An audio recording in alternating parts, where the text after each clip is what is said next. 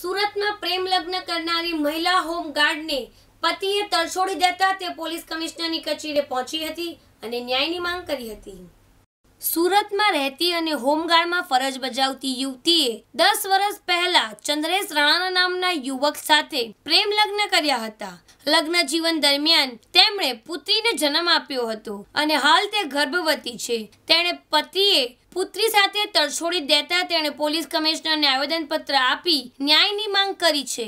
આવેદનપત્રમાં જણાવ્યા અનુસાર તેના પતિના પરિવારવાળાએ તેની સાથે મારઝૂટ કરે છે અને ધમકાવે છે. આ ઉપરાંત ગર્ભપાત કરવા માટે પણ દબાણ કરી રહ્યા છે.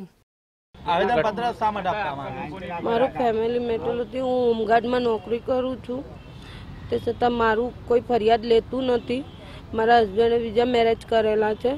એ લોકોએ એ લોકોની કાર્યવાહી લે છે એ લોકો દારૂનો ધંધો બી કરે છે પાવભાજીની લાડી બી છે એ લોકોને કોઈ મારી કોઈ કાર્યવાહી લેતા નથી. એના માટે હું અહીંયા આવેદનપત્ર આપવા આવેલી હતી. શું થયું હતું? ક્યારે આપનું લગ્ન થયું? મારા બે હજાર સાતમાં મારા પ્રેમ લગ્ન થયેલા હતા મંદિરમાં. પછી એ બે હજાર બારમાં એ પાછા બીજા લગ્ન કરેલા છે. એ સમાજની બૈરી કહે છે મને જાતિવાતીથી બોલે છે. હું દેડ છું, તને રાખવાના નથી, તને જાનથી મારી નાખીશ. હું ફિલહાલ પ્રેગ્નેન્ટ છું. મને સાતમો મહિનો ચાલે છે. મારી એક બેબી છે, નવ વર્ષની. હમણાં પાછા બે હજાર પંદરમાં મારા સાથે કોર્ટ મેરેજના કાગળિયા બનાવ્યા. મારા સાથે ચીટિંગ છેતરપિંડી કરે છે. હું ક્યાં જાઉં? મને ન્યાય મળવા જોઈએ. મને બીજું કંઈ નથી જોતું. એને મળવા નથી દેતા. એના ઘરવાળા મને આવીને મારી જાય છે, ધમકાઈ જાય છે. મારે શું કરવું? એ લોકો કહે છે, તું બાળક પડાવી નાખ.